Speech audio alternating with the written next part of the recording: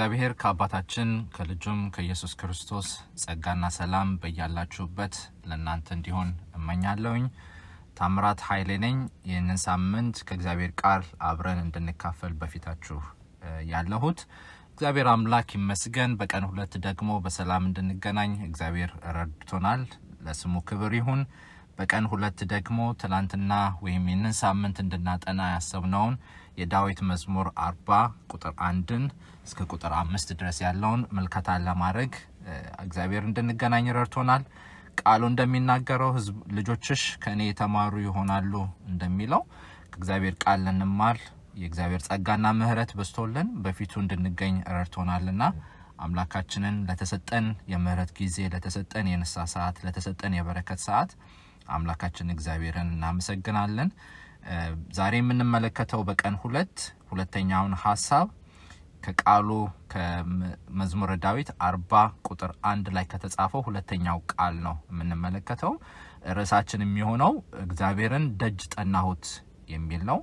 የትምህርታችን ዋናው ርዕስ ወይም ንዑስ ርዕሱ ቆይቼ እግዚአብሔርን ደጅ ጠናሁት የሚል እንደሆነ ትዝ ይለናል። በዛሬው በትላንትናው ቀን ቆይቼ የሚለውን ሀሳብ ለመመልከት ሙከራ አድርገን ነበረ። በመቆየት ውስጥ ምን እንዳለ፣ ማንን እንደምንቆይ፣ ለምን እንደምንቆይ ብዙ የሚያስቆዩ ውጣ ውረዶች ቢኖሩብንም ግን መቆየት መልካም እንደሆነ ቃሉ እንደሚናገረው በመቆየት በለስን እንደምንበላ እግዚአብሔርን ደግሞ የሚጠባበቅ ሕዝብ እንደሚከብር እንደምናውቀው ሁሉ መቆየት እንደሚያስፈልገን የዳዊትን ሕይወት የሳውልን መመረጥ አንስተን የእስራኤልን በእግዚአብሔር ላይ ማመፅና አምላክነት ወይም ንጉስነት አለመፈለግ አንስተን ለመመልከት ሞክረናል በትላንትናው የትምህርት ጊዜያችን። ዛሬ ደግሞ እግዚአብሔር እንዲያስተምረን ያሰብነው ቃል እግዚአብሔርን ደጅ ጠናሁት የሚል ሀሳብ ያለበት ነው። ወደ ቃሉ ከሜዳችን እግዚአብሔር ያዘጋጀልንን ማዕድ ከመካፈላችን በፊት የእግዚአብሔር መንፈስ ራሱ እንዲያስተምረን አንገቶቻችን ለክብሩ ዝቅ እናደርግና በጸሎት እንጀምራለን። እንጸልይ። ሰማይና ምድርን በቃልህ የፈጠርክና የዘረጋ የሁሉ ባለቤት አማካሪ የማያስፈልግህ ለጽድቅህ፣ ለቅድስና፣ ለአምላክነትህ ፍጥረት እንኳን ይይዝ ዘንድ የማይችል ቅዱስ አባት የኔ አባት የወገኖቼ አባት የእህቴ ወንድሞቼ አባት አምላክ ልትሆን የወደድክ ክብር ምስጋና ላንተ ይሁን። በፊትህ እንድንሆን ይህንን ጊዜ ሰጥተህናልና በእኛ ላይ ፈቅደሃልና እንድንቆይ ትላንትና እንዳስተማርከን ዛሬ ደግሞ ያንተን ደጅ እንድንጠና ልታስተምረን ፈቃድ ስለሆነ እናመሰግንሃለን። ወደ እኔ ኑ እኔም ወደ እናንተ ቀርባለሁ ያለው ቃልህ ታማኝ ነውና በስሜ በምትሰበሰቡበት እኔ እገኛለሁ፣ በረከቴም በዛ አዝዣለሁኝ እንዳልክ በማዕከላችን እንድትገኝ መሰብሰባችን፣ መስማታችን ቃልህ የሚጠቅመን የሚረባን እንዲሆንልን ለፍርድ የምንሰማ እንዳንሆን እግዚአብሔር መንፈስ ቅዱስ ሆይ የልቦናችንን ዓይኖች እንድታበራለን የመጥራትህ ተስፋ ምን እንደሆነ በማወቅ በሙሉ መሰጠት በዚህ ዘመን ላንተ መኖር እንድንችል አቅም ጉልበት ሁነን። ለእኔም ለባሪያ ምሕረት ይብዛለኝ። እኔ ካለመታዘዝ የተነሳ በወገኖች ላይ በረከትህ እንዳይከለከል በደምህ እንድትሸፍነኝ በእኔ ላይ ያስቀመጥከው ቃልህ ያለመከልከል ለሚሰሙት ሁሉ እንዲደርስ ፈቃድህ እንዲሆን እጸልያለሁኝ በክርስቶስ በሕያው ልጅ ስም አሜን። መዝሙረ ዳዊት አርባ ቁጥር አንድ ቆይቼ እግዚአብሔርን ደጅ ጠናሁት፣ እርሱም ዘንበል አለልኝ፣ ጩኸቴንም ሰማኝ። በዛሬው የትምህርት ጊዜያችን የመልእክት ጊዜያችን የምንመለከተው እግዚአብሔርን ደጅ ጠናሁት የሚል ይሆናል።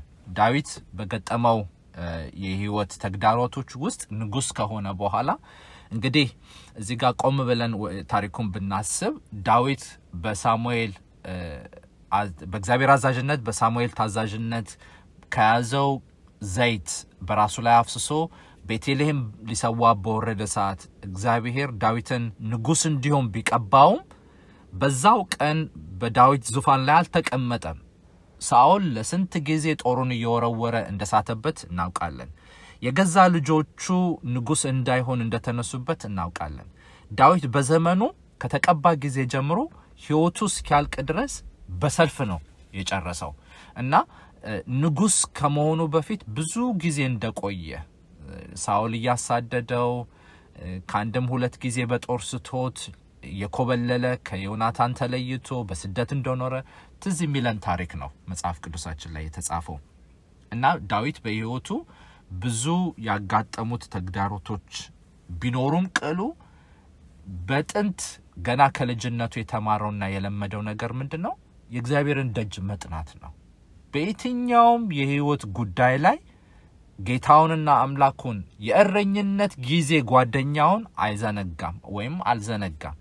ንጉሥ ቢሆንም ዳዊት እግዚአብሔርን አልዘነጋም። ቢቀባና ቢመረጥም የእግዚአብሔርን ደጅ መጥናት አልዘነጋም። ምክንያቱስ ብለን ብንጠይቅ ከመፍትሄዎች ሁሉ አዋጭና የበለጠ ዘላቂ የሆነ መፍትሄ ሊሰጠን የሚችል ከሰላም ደግሞ ሰው እንደሚሰጠው ያልሆነ ሰላም ግን ዘላቂ የሆነ በመከራ በችግር በመውጣት በመብራት ውስጥ ሆኖ ግን መረጋጋትን የሚሰጥ ሰላም ያለው ማን ጋር እንደሆነ ዳዊት ያውቃል። ስለዚህም በሚያጋጥመው የህይወት ተግዳሮቶች ውስጥ በሙሉ አስቀድሞ ዳዊት እግዚአብሔርን ደጅ መጥናት የሚያውቅ ሰው ነበር።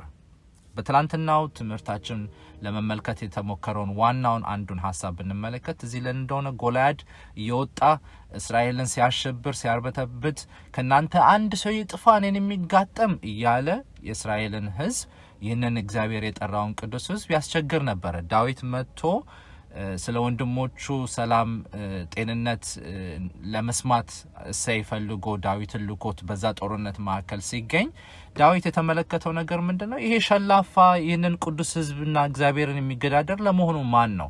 እኔ አምላኬ ብዙ ገድልን አስተምሮኛልና እኔ ልውጣና ልጋጠመው ብሎ ዳዊት እንደተጋጠመው ያለው ነገር ምንድን ነው? አንተ ሌባንና ሌላን ነገር እንደምትጋጠም ሰይፍን ጦርን ይዘግ መተህብኛል። እኔ ግን በዚህ በተገዳደርከው ህዝብ አምላክ ስም እመጣብሃለሁኝ ብሎ እንዴት አድርጎ እንዳሸነፈው ልምድ አለውና በህይወቱ ገጠመኝ።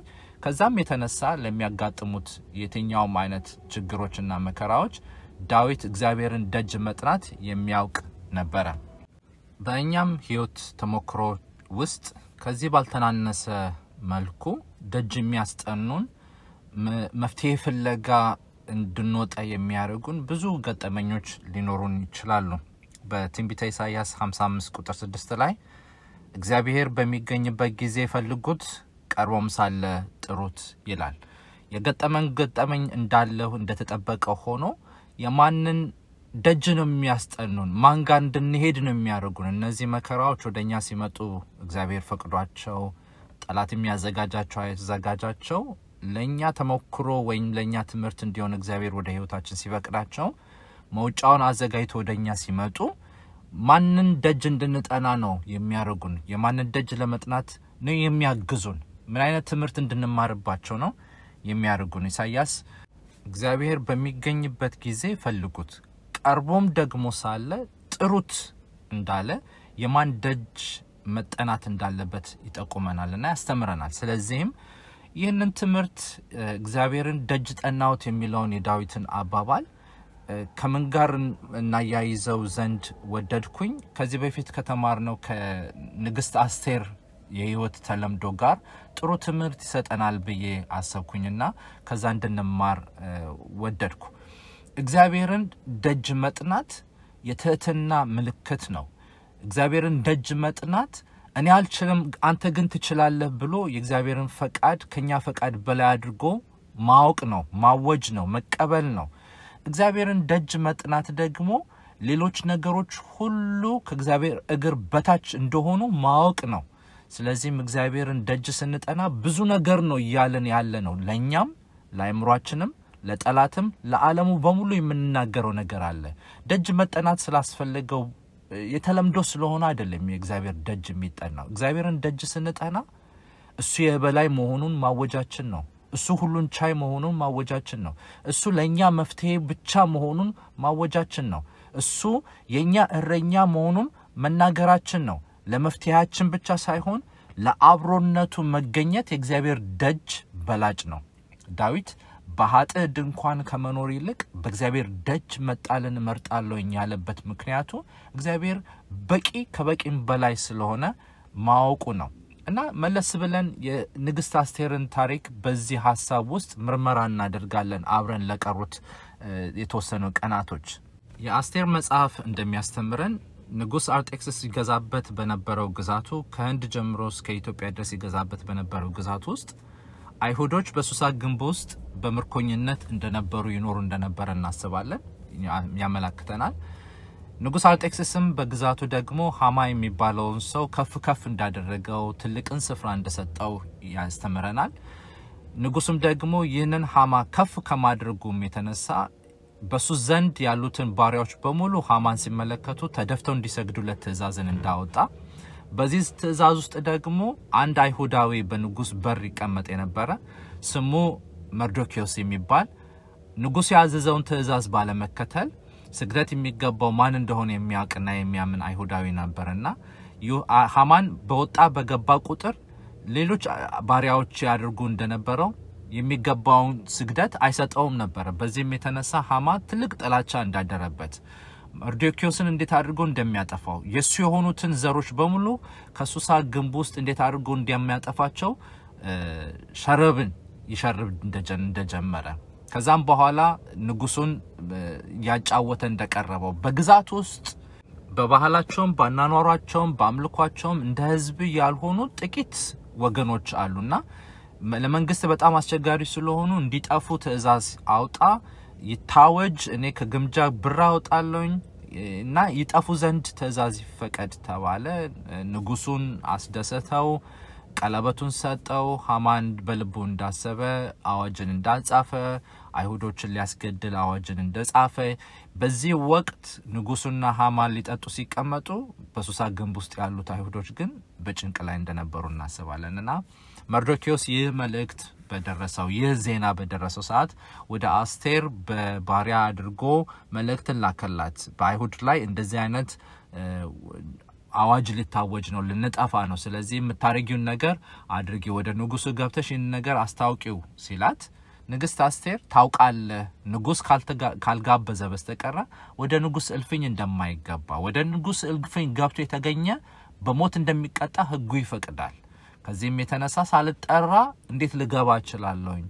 ተራያ አይደለም ብላ መልእክት ላከችለት። መርዶኪዎስ ያላት ምናልባት ምናልባት አስቴር አንቺ በንጉስ ቤት ሆነሽ ስለሆነ ምን ይሄ አደጋ አይደርስብኝም ብለሽ አስበሽ ሊሆን ይችላል። መዳን ለአይሁድ ከሌላ ቦታ ሊመጣ ይችላል። አንቺና ቤተሰብሽ ግን የአባትሽ ቤት ግን እንደምትጠፉ እርግጥ እወቂ አላት። አስቴር ወደ ልቧ ስትመለስ ወደ መርዶኪዎስ እንደዚህ የሚል መልእክት ላከችለት። እንግዲያስ እንደዛ ከሆነ ለሶስት ቀንና ለሶስት ሌሊት ህዝቡ እንዲጾም ስለ እኔ እንዲጸልይ አሳስባቸው። እኔም ከጃንደረባዎቼ ጋር ሆኜ አብሬ ከደናግሎቼ ጋር አብሬ እጸልያለሁ፣ እጾማለሁኝ። ከሶስት ቀን በኋላ ንጉስ ባይፈቅድልኝ ተራይም ባይሆን ወደ ንጉሱ ደጅ እገባለሁ። ይህንንም ነገር ላስታውቀው ቆርጫለሁ፣ ብሞትም ልሙት ብላ ወስና ተናገረች። ጾም ጸሎት ታወጀ። ስለ ህዝቡ መጥፋት እግዚአብሔር ግድ እንዲለው ይህ የታወጀባቸው አዋጅ እንዲሻር በእግዚአብሔር ፊት ቀረቡ። ይህ ነገር ትዝ ይለናል። አስቴርም ከደናግሎቿ ጋር እንደዚሁ ጾመች። ከሶስት ቀን በኋላ ወደ ንጉሱ እልፍኝ ገባች። ዋናው ታሪኩ እንድናቆመውና እንድንማርበት ያሰብኩት ይህ ነው። ንግስት አስቴር በእቅዷ ውስጥ ያስቀመጠችው የመጀመሪያው ደረጃ ቆይታ ያደረገችው የመጀመሪያው እርምጃ የእግዚአብሔርን ደጅ መጥናት ነው። የንጉሱን ፊት ከማየቷ ንጉሱ ደጅ ከመቅረቧ በፊት መቀረብ የሚያስፈልገው ደጅ አለ፣ የሚፈለግ ደጅ አለ።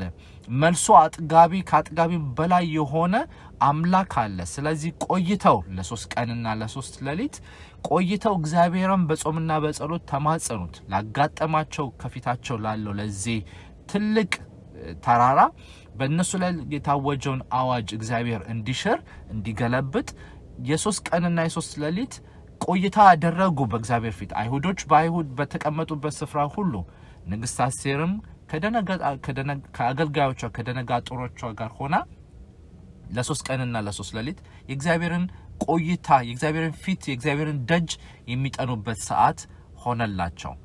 ከሶስት ቀን የጾምና የጸሎት ጊዜ በኋላ እግዚአብሔር እንዴት አድርጎ ጩኸታቸውንና ልመናቸውን እንዳደመጠ በሚቀጥሉት ቀናቶች አብረን የምንመለከት ይሆናል። ንግስት አስቴርና ጠቅላላው የአይሁድ ሕዝብ ከፊታቸው ለተደቀነባቸው የሞት አዋጅ ለማምለጥ ግን ብቸኛ ምርጫው አድርገው የወሰዱት የእግዚአብሔርን ደጅ መጥናት ነበረ። እኛም ከነሱ የምንማረው ከዚህ ትምህርት የምንማረው ዛሬ ዳዊት እንዳለ የእግዚአብሔርን ደጅ ጠናው እንዳለ የእግዚአብሔርን ደጅ መቼና እንዴት ነው የምንጠናው? ምን ሲያጋጥመን ነው የምንጠናው? መጀመሪያ ላይ ነው እግዚአብሔርን ፊት የምንፈልገው ወይስ ሞክረን በራሳችን ሲያቅተን ነው እግዚአብሔር የት ነህ ድረስልኝ ጥያቄ የምናቀርበው? መዝሙረ ዳዊት 34 ቁጥር 10 ላይ ባለጠጎች ደኸዩ ተራቦም፣ እግዚአብሔርን የሚፈልጉትን ግን ከመልካም ነገር ሁሉ አይጎድሉም ይለናል። እንደዚሁ በዚሁ መዝሙር መጽሐፍ ላይ 105 ቁጥር አራት ላይ እግዚአብሔርን ፈልጉት ትጸኑም አላችሁ፣ ሁል ጊዜ ፊቱን ፈልጉ ይለናል። እግዚአብሔርን ደጅ መጥናት የእግዚአብሔርን ፊት መፈለግ ተቀዳሚ ምርጫችን እንዲሆን ዳዊት በጨነቀው ጊዜ ቆይቶ እግዚአብሔርን ደጅ እንደጠና ሁሉ እኛም የቆይታ ጊዜ በሕይወታችን ሲመጡ የማንን ደጅ እንጠናለን? የማንን ፊት ለመፈለግ ወደፊት እንሄዳለን? ደጅ የሚያስጠኑ በሕይወታችን በአንድም ይሁን በሌላ ሳያጋጥመን ቀርቶ አይደለም። በብዙ ነገር በዚህ ምድር ላይ ስንኖር ሳለ ኢየሱስ ክርስቶስ እንዳለ በዓለም ሳላችሁ መከራ አለባችሁ እንዳለ፣ ነገር ግን አይዟችሁ፣ አትፍሩ፣ እኔ ከእናንተ ጋር እስከ መጨረሻ ጊዜ ድረስ ነኝ፣ ዓለምን አሸንፌዋለሁ እንዳለ የማንም ፊት ልንፈልግ መጀመሪያ ተቀዳሚ ምርጫችን እናደርጋለን። ጌታችን ኢየሱስ ክርስቶስ በምድር ላይ በነበረው አገልግሎቱ የእግዚአብሔርን ደጅ ስለ መጥናት የእግዚአብሔርን ፊት ስለ መፈለግ ሲያስተምር አንዱ ሰው ወዳጁ ቤት ሄዶ በር ማንኳኳት አበዛ። መንኳኳቱም ቀጠለ። እንደዚህም ብሎ ጠየቀው፣ እባክህ እንግዳ ያልጠበቅኩት ቤቴ መጥቷልና የሚበላ ማቀርብለት ነገር ስለሌለኝ እባክህ ስጠኝ አለው። ያ ወዳጁም ምክንያትን ሰጠው። እኔ ተኝቻለሁ፣ ግሬን ታጥቤ ያለውኝ፣ እንዴት አቆሸሸዋለሁኝ፣ መነሳት አያስፈልገኝም፣ አልችልም፣ እባክህ ሂድ ባለው ጊዜ ይህ ወዳጁ ያደረገው ነገር ምንድን ነው? በሩን ዝም ብሎ ማንኳኳት ቀጠለ። አዘውትሮ ቀጠለ። አብዝቶ ቀጠለ። ከውትወታው የተነሳ አብዝቶ ከማንኳኳቱ የተነሳ ያ አልችልም ይል የነበረው ወዳጁ ተነስቶ የልቡን መሻት አደረገለት ብሎ አስተማረን። የማንን ደጅ ልናንኳኳ አብዝተን አዘውትረን ሳንሰለች ሳንታክት መልሳችን ወደ እኛ እስኪመጣ ድረስ እስኪለመነን ድረስ የልባችንን መሻት እስኪሰጠን ድረስ መልሱም ደግሞ ለእርሱ ክብርን እስኪያመጣ ድረስ የማንን ደጅ ልናኳኳ አዘውትረን እንጠራለን። ስለዚህ በዛሬው ትምህርታችን ለመመልከት ሙከራ ያደረግነው የእግዚአብሔርን ደጅ መጥናት መፍትሄ ነው ለአንድ አማኝ እግዚአብሔርን ለሚያውቅ ሰው በእግዚአብሔርም የአባትነት ደግሞ የልጅነት ስልጣን የተሰጠው ሰው የመንፈሱ ማደሪያ እንዲሆን የሚቃትትበት የልጅነት መንፈስ የተሰጠው ሰው የመጀመሪያው ተቀዳሚው የሕይወቱ ምርጫ የእግዚአብሔርን ደጅ የእግዚአብሔርን ፊት መፈለግ ነው። ዳዊት ቆይቶ በጨነቀው ጊዜ የእግዚአብሔርን ደጅ እንደጠና ሁሉ እኛም እዛ ደረጃ ላይ እስክንደርስ ድረስ አይጠበቅብንም። ነገር ግን የእግዚአብሔርን ደጅ ጠዋትና ማታ ሌት ተቀን የሕይወታችን ክፍል አድርገን ደጁን መጥናት ይሆንልን። የእግዚአብሔርን ፊት መፈለግ ተቀዳሚ የሕይወታችን ክፍል እንዲሆን ነው። የእግዚአብሔር ደጅ ፈልጉት ታገኙታላችሁ፣ ጥሩት ቀርቦም ሳለ ደግሞ ይሰማችኋል እንዳለ የእግዚአብሔር ቃል የእግዚአብሔርን ደጅ መጥናት የእግዚአብሔርን ፊት መፈለግ ተቀዳሚ የሕይወታችን ክፍል እንዲሆንልን እግዚአብሔር በያለንበት ሁላችንንም ይርዳን። መከራዎቻችን፣ ችግሮቻችን፣ ተግዳሮቶቻችን የምናልፍባቸው ነገሮች የእግዚአብሔርን ደጅ እንዳንጠና እንቅፋት ሊሆኑ የተሰጡ ቢሆኑም ጠላት የሚጠቀምባቸው ቢሆኑም ነገር ግን የእግዚአብሔርን ደጅ መጥናት አካባቢዎቻችንን ሳንመለከት እንዲሆንልን ነው። እንግዲህ የዛሬው ትምህርት የሚያሳስበን የእግዚአብሔር ቃል የሚያሳስበን እንዳንሰለች፣ እንዳንደክም፣ እንዳንዝል፣ ተስፋ እንዳንቆርጥ ዳዊት እንደና ተናገረ። በአጥህ ድንኳን ከመኖር ይልቅ በእግዚአብሔር ደጅ መጣልን እመርጣለሁኝ እንዳለ የእግዚአብሔርን ደጅ ለመፈለግ መበርታት እንድንችል እግዚአብሔር በያለንበት ጸጋውን ያብዛልን፣ ጉልበት አቅም ይሆነን፣ ፊቱን መፈለግ ይሆንልን፣ ቀርቦ ሳለ እርሱን መጥራት ይሁንልን እላለሁኝ። እንጸልይ። እግዚአብሔር የሰራዊት ጌታ አምላካችንና አባታችን አንተ ቀርበ ሳለህ እንድንጠራ ተጠግተን ሳለ ስምን እንድናውጅ ስለ ረዳህን እናመሰግናሃለን። የልባችን አምላክ እረፍታችን ስለሆንከን፣ ሰላማችን ስለሆንከን፣ ጉልበታችን ስለሆንከን፣ አቅማችን ስለሆንከን፣ ፊትን እንድንፈልግ ጸጋ ስለረዳን እናመሰግናለን። እንዳንደክም እንዳንዝል እጆችህ ደግፋን እዚያ አድርሳናለችና ክብር ለአንተ ይሁን። አባታችን ሆይ በዛሬው ቃል እንዳስተማርክን ያንተን ፊት መፈለግ፣ ያንተን ደጅ መጥናት፣ ያንተን መፈለግ ጥያቄዎቻችንን፣ ሀሳቦቻችንን፣ ሸክሞቻችንን ይዘን በእግሮች ስር መቅረብ ከአንተ ዘንድ መፍትሄ እንዳለ እንድናውቅ አስችሎናልና ስለ ሕያው ቃል እናመሰግናለን።